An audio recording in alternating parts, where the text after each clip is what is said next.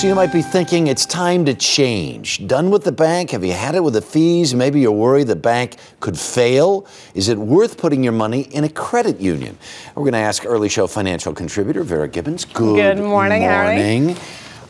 How do you make the determination? A lot of people are, are Well, switching. a lot of people right? are. They're, Yeah. You know why they're switching? Primarily because they're tired of all the big fees that are being imposed by Right. the big banks. They're tired of a really bad customer service. That's taken a hit. Mm-hmm. So they're making the switch from the banks to the credit unions. Membership's up 11% in the third quarter. 90 million Americans now belong to a credit Wow, union. that's a lot. Who can join though?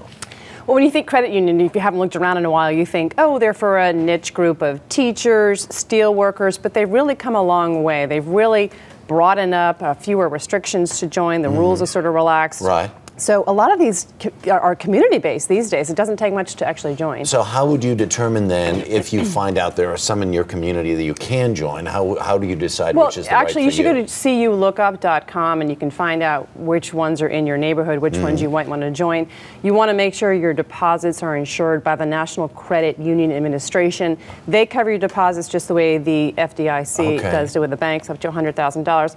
So you want to make sure about that. And one way to tell, Harry, there will be a blue sticker in the window of the credit union, or you could just ask. All right. Make sure you're, you're, you want to be make sure your deposits are insured. So if it's a shack that's falling down and it doesn't have the blue sticker on the Don't go there. Don't go in there. All right. So the, the question I think a lot of people have is is it easier to get a loan at a credit union because The banks aren't doing of- any lending Well, but right now, that's right. sort of the reputation though from the past. Right. Well, here's the thing. If you look at the bank loan portfolios, Mm-hmm. they're actually shrinking, whereas the credit union loan portfolios are growing. So, what that means is if you're a credit-worthy customer, you actually do stand a better chance of getting a loan at a credit union Mm-hmm. Wow. versus a big commercial You can bank. see why all these people are going over to change. well, then, they right? didn't. They weren't caught up in the whole fiasco, the whole subprime mess that the banks were. So Mm-hmm. They were in a better position to loan. All right. So what kind of rates though are we talking about? Good.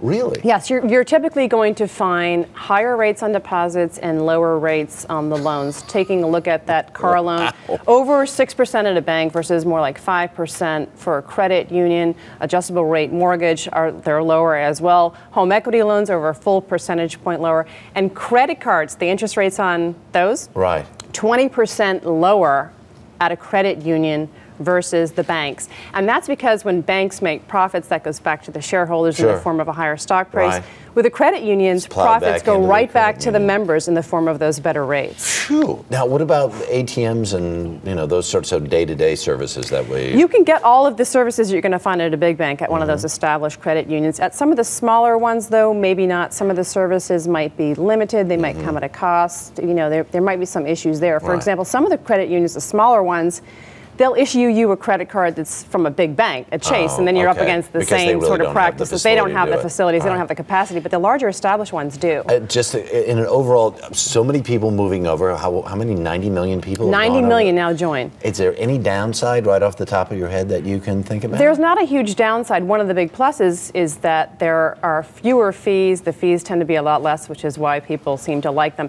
And the overall satisfaction rate, very high Very on the high. credit unions. There you go. Very good. Nice Thanks, segment. Vera Gibbons, as always, thank you very much. To learn more about credit unions and banks, go to our website, earlyshow.cbsnews.com.